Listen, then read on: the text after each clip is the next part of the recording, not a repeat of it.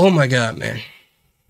I got secondhand embarrassment. All right, wrestling family, welcome back to the channel. I just saw the backstage footage from the altercation between CM Punk and Jack Perry at All In.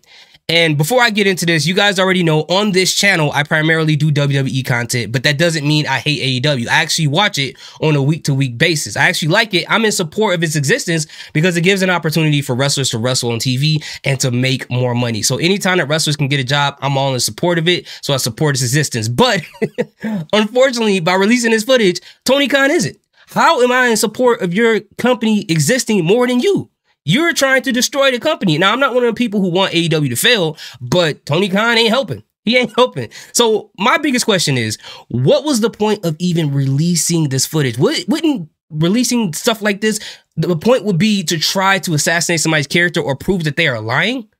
Wouldn't that be the reason? But it literally happened the exact same way that CM Punk said it happened. So how, what, I don't understand, right? I could see somebody in the legal department possibly saying like a, a small chance of being like, well, he can't sue us for assassination of character because we're only showing in the video what he's already said. So legally, we're only showing what he already described.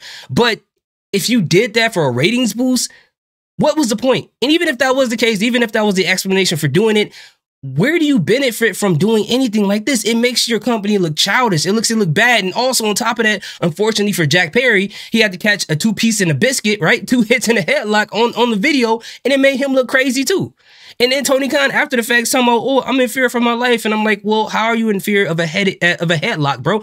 It was CM Punk on the video doing it, not Heihachi Mishima from Tekken. Like, what what is going on? Now, I did see the part where CM Punk did go after Tony Khan and he was restrained when he tried to reach over uh, the computers and knock it over. Over, you can see Tony Khan's hand trying to say stop it.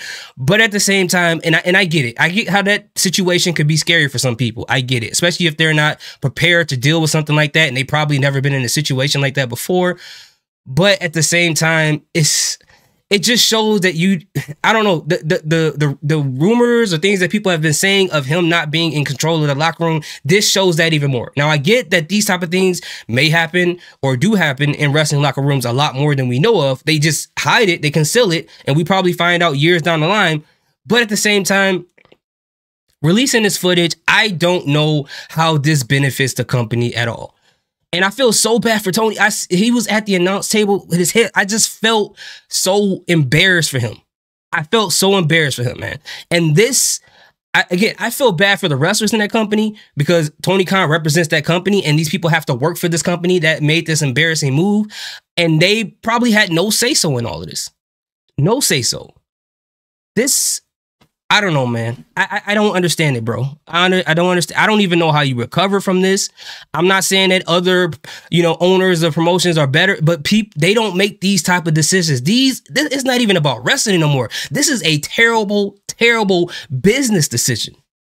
It, it, I, I don't get it. I don't get it. I mean, you guys let me know in the comment section how this makes sense, please, because I'm pretty optimistic about everything that I talk about, but I can't really figure out a way to make this make sense. It, and if it's for rating boost, it just was not worth it. Let me know in the comment section. Did you guys check out the video? I would like to hear what you guys have to say. I appreciate your support. Salute. Peace. Have a good day.